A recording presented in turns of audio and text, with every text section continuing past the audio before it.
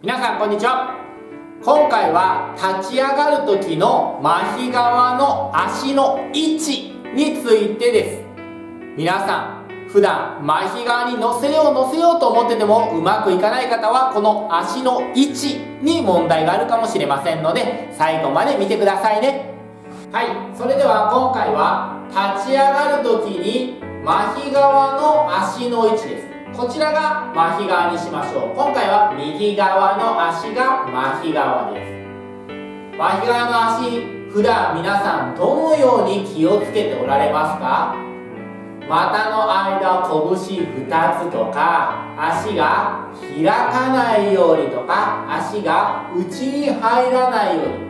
こんな風に気をつけている方が非常に多いかと思います。しかし皆さんよーく観察しているとやはりできていないポイントが多いんです。それは何かと言いますと膝に対して足が真下に落ちていない。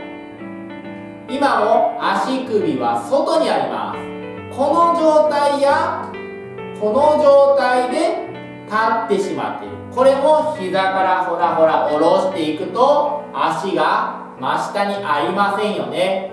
正しくはここ。膝がちゃんと足の上に来てますよね。このようにしっかり足のポジションを整えないとどうなるか。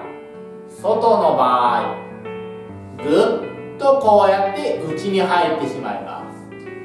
内側の場合ぐっと外に開いてしまいます。ですので膝の位置と足の位置はまっすぐ真下に来るようにしてみてください。さらにはお尻がちゃんと感じられてるかとか太ももの裏が感じられているかということも大事になります。これらができて初めて立ち上がるためのお辞儀真似ができるんですね。